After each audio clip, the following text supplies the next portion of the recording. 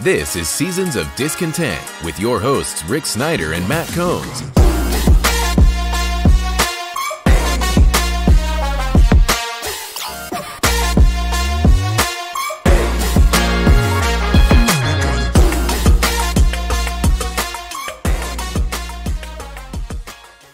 Welcome to Seasons of Discontent, Season 9, Episode 25, brought to you by Rick Snider's Washington on social media. And I'm Rick Snider. I'm Matt. And we're back discussing all things Washington sports and life as part of my Mighty social media network. So we took a week, couple weeks off for stuff, but we're back. And guess what? They're still losing, Matt. Who, who knew? Hey, now, did, they, did they somehow lose during the bye week too? I couldn't remember. Man, four and ten now. This is since Joe Gibbs's first retirement, 93. They've they've had 15 losing seasons, which is basically half of them. In the 31 years before Gibbs came, they had two mm. uh, 10 plus lost seasons. Now they played 14 games a lot then, but still, it just shows you, man, this is just it's it's the norm. That's why you're, you know, at the end of losing to the Rams 28-20 on Sunday, for a brief moment there, you thought, God, could they tie this game up? I mean, they're down. There was they did nothing the whole game. Jacoby Brissett comes in, a couple nice looking touchdowns. Rams are in defense, prevent defense, but of course Washington screws it up because they took four minutes almost to score down the goal line and never got another possession, hmm. and that was bad coaching there. So from bad play to bad coaching, it's just all getting worse. Yeah, and there were a lot of a lot of glaring issues yesterday. Um, one of them is a ongoing occurrence, and that's Ron and clock management. Ron has never been able to manage the clock in the four years that he's been here, and it baffles me. Like, bring somebody in to hold a stop clock or a stopwatch and say, "Hey, dude, you might want to consider taking a, a timeout." Um, but you know, honestly, Rick, the big, I think the big glaring issue yesterday was you spent a first round pick this year on a cornerback that's clearly not a first round cornerback. I, I, hate that everybody's picking on Manny Forbes, and I wanted to give him time, but I have seen nothing out of the kid this year. We were promised a ball hawking, fast corner. We were all worried about his size. He can't even cover. Like he's just kind of standing around lost. Quan Martin showed up yesterday, so that pick is looking somewhat good. But at the end of the day, if we take a look at all four years so far of Ron, the, the glaring issue is he cannot build a roster. Uh, somebody, and, and I know this is going to be a little twisted, but somebody posted the starting five offensive linemen when he got here compared to the one that he has now. Now, honestly, Trent Williams wasn't coming back regardless of who the coach was. He was pissed at the franchise. He wanted out. He hated Dan Snyder. Um, was it uh, Chase Roullier or or one of the guys retired for injury.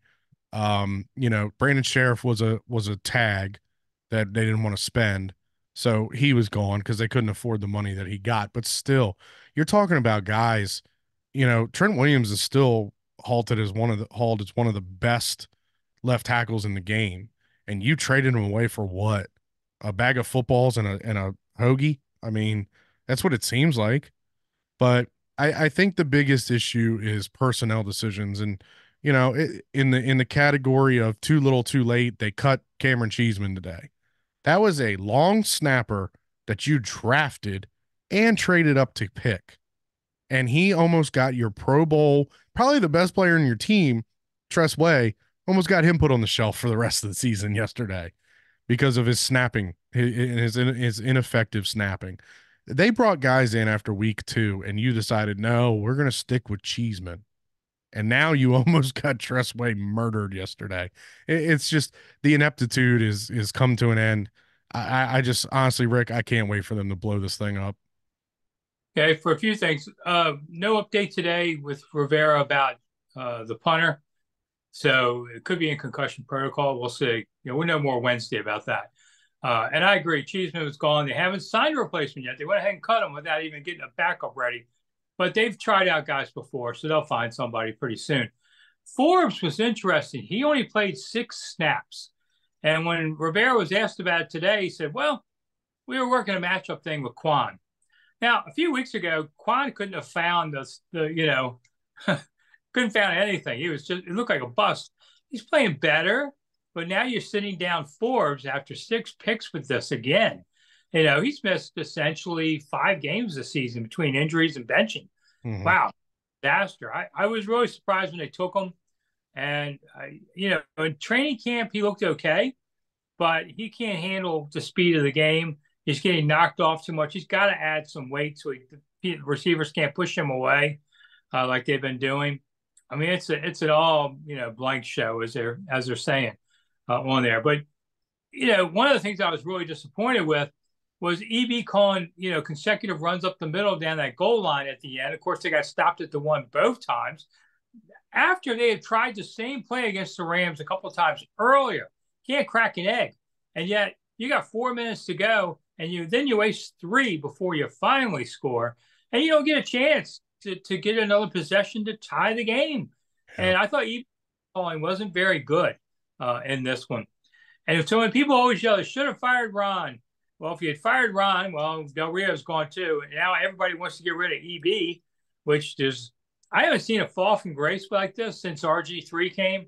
Uh, and it didn't happen in the same season, you know, but everybody loved EB, should have made him head coach in the beginning of the season. Now everybody wants to ride him out on a rail. I, I don't expect him to, to be here when they make changes. We're three weeks away from the end. I tell people just just enjoy Christmas, and this will be over afterwards uh, on there. But you know, everybody looks like they've clocked out. I mean, Ron talked today a little bit about a little bit about Sam Howell. It was an interesting comment he made. He said yesterday Howell is still the starter the rest of the season. Now the team has been eliminated. Jacoby comes in, plays well. Now this is a totally different situation because it's garbage time. There's so much there that anybody just says the stuff, they know what they're talking about. Well, the line back block better with them eh, because the Rams weren't forcing the issue at that point.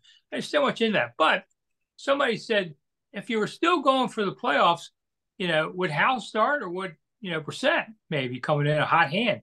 This has happened before with other times. And he said, oh, it's an interesting thing. You know, we'd have to look at it. And I thought, oh, isn't that something? Now, I don't expect Brissett to start on Sunday, but I don't know anymore with this group. They can they say one thing and anything can happen suddenly, you know, Howell's got a stiff shoulder. you know how that goes. You know, and I still have a bet with Grant Paulson at one of six seven, the fan where I worked at, that uh, Jake Fromm would start a game. I might still be alive on that. Who knows? Yeah. You know he's not. yeah. Week 18 against Dallas, it'll be the Jake Fromm show, just like Howell last year. but you know, I, it, it's funny too. You know, we've talked about Eric Bieniemy on this show a lot, and a similar situation just occurred out in San Diego well, LA, whatever you want to call it. They're still the San Diego Chargers. Um, they fired Brandon Staley and Kellen Moore, who's the offensive coordinator, who's their highly touted offensive coordinator that they stole from Dallas and all this stuff. Um, he said, No, I don't want the interim job because it's going to damage my reputation. And that's exactly what would have happened here. They fired Ron. Bieniemy would have not taken the coaching job because he doesn't want to damage his reputation and the possibility that he could be a head coach somewhere else next year. But um, yeah, I look, I'm still kind of up in the air when it comes to Bieniemy because we have seen growth, we have seen progression with Sam Howell. Maybe it's not as fast as most people had thought, maybe it's not as fast as most people had wanted it to be, but I have seen progression with Sam Howell. Uh, the ability for the kid, I mean, he got benched uh, on Sunday, the ability for him to just have that short memory, that's something that you can't teach. And the kid's going to go out there Sunday like nothing ever happened. Maybe it's a good thing, maybe that's a detriment. We don't know. But um, you know, he makes a mistake and he's able to recover from it. Uh, I, I do like that ability of his, and and the kid's got poise. And look, I, you know, this isn't the defend Sam Howell hour, but you know, at the end of the day, the kid's been sacked fifty three times. I think this 50. line, fifty nine. Yeah. We're up to 59, but it's not at a 100 pace anymore. so No, it's definitely slowed down. Yeah. But yeah, and you brought up a good point too with the runs up the gut. You know, Aaron Donald wasn't even in on those goal line stands. That's their highest paid player. That's their all pro defensive lineman who they paid millions and millions of dollars. He wasn't even in there during those because they didn't care. Sean McVay didn't care if they scored a touchdown. And then, and then, you know, hey, I hate to say it, but it's Washington. They're going to find a way to shoot themselves in the foot anyway. And they did, you know, back and forth with penalties and pass interferences and push offs. Um, you know, I, I, know this is not really on our rundown, but I did want to run this by you real quick. uh, you know, one of the things that you've always talked about is is this team's ability or this team's need for a tight end. We need a tight end really bad, Rick. Um, Logan Thomas is really falling out of graces with this offensive scheme. Uh, Cole Turner was not even active yesterday. John Bates is a blocking tight end for the most part, who has made some pretty good catches, but he's not a catching tight end. This team is in desperate need of a good top tier tight end because you have a essentially a rookie quarterback. A rookie quarterback safety valve is always the tight end.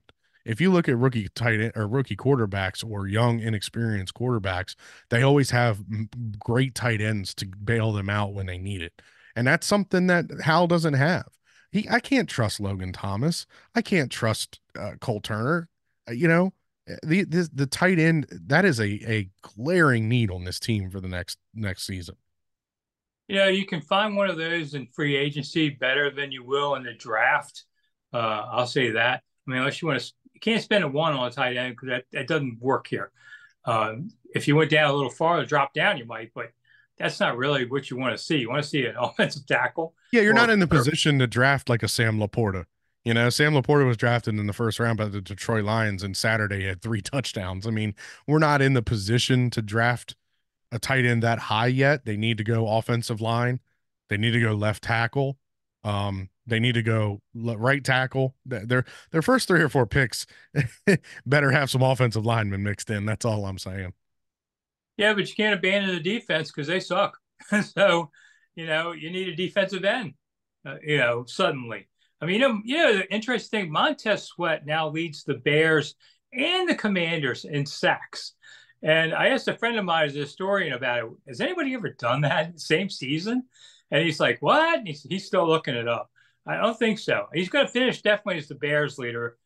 Might finish with the Commanders leader. How weird is that? Yeah, they just been gone for what six games. And it also like- just shows you the ineffectiveness that our coaching staff had in using those two guys. I know Chase Young's not setting the world on fire out in San San Francisco, but I think he had a sack yesterday. He had a couple a couple tackles. Um, but yeah, I mean, it just shows you the ineptitude that this coaching staff had when using those guys. And obviously, Jack Del Rio is not here anymore. You know, it's just amazing to me too. That's another one. You know, kind of recapping the last couple weeks. You know, Del Rio, that defense was on fire the first year he got here. When did they finish like second in the league or something like that? What a mighty fall from grace in just a couple years. Yeah, they have nothing working there. I mean, nothing. They I mean, Hud, they have no, they, like, they have no linebackers, Rick. They they have no linebackers for two guys on this team that are coaches and played linebacker in this league. They have zero linebackers that are worth anything. Yeah. Of course, last week when uh, you were out sick, or I was out sick, I forget who was. It was me. Um, I'm still a little sick, if you couldn't tell. okay. we're we're in the period of colds that never end, apparently. Yeah, well, that's what happens when you have kids. Uh, but you know, of course, the arenas talk was all about you know moving over to Potomac Yards, which is an interesting thing. We could go on forever about. But the one thing I want to say is the Wizards. The Wizards are now four and twenty-one, and I got a, a PR release from Bet BetMassachusetts.com. I get all these weird ones that had Wes Unseld Jr. as the favorite to be the next NBA coach fired. And first time I've seen that, he doesn't deserve it. I mean, four and twenty-one and you're not fired in the NBA? How is that possible? You know, I, I, so we talk about you know Ron all the time, but but Wes has done awful, and they and they have to score like 140 points to win. I've never seen anybody play so badly on defense. They have, there is no defense uh, on this. So I I you know I like the old man. I don't really know the kid, but Wiz got to do something. You want to build a big arena down the road, you better win a few games. Just like actually, it's actually going to be a smaller arena from what I heard. Well, they don't need. Well, I think how big is the Cap One? I think like Cap 20, One is like seventeen, isn't it? Yeah, something. If you add up all the whatever's. I mean, I, I, in a brief time we talk about. It, I like the idea of going to Potomac Yards. I'm pretty much alone in this, but I think it's a chance to give you an entertainment complex that you can't do downtown DC. They're now talking. Um, the mayor's talking maybe about the FBI, which is moving out of town, taking that building, which is just a few blocks away. Uh, I don't know if it would fit or not. It's a big building, but I don't think it would quite fit the arena. Yeah. Unless smaller arena, and that's right on Pennsylvania Avenue uh, there.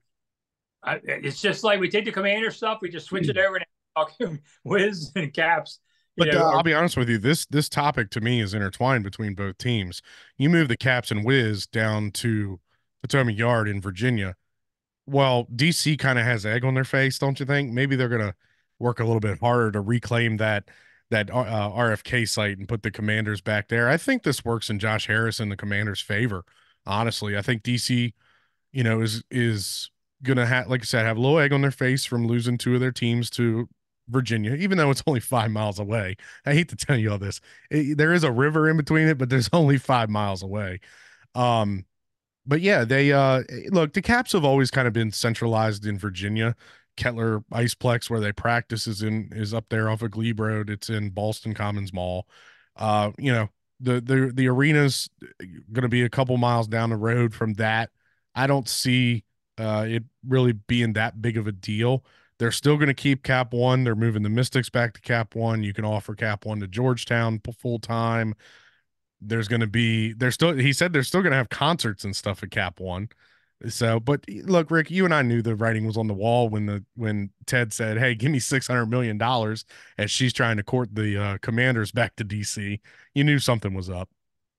Yeah, I, I don't believe that The Mystics and all that will end up there. I could be a casino, could be a lot of things, uh, but I don't see this as all being a bad thing. Hmm. It's everybody, you know, just hyperbole, you know, doing all this. I don't see it as a bad deal. It's it's five metro stops away. Uh, you know, big deal for everybody in Maryland that doesn't want to go a little farther. There's somebody in Virginia that's happy to come a little closer.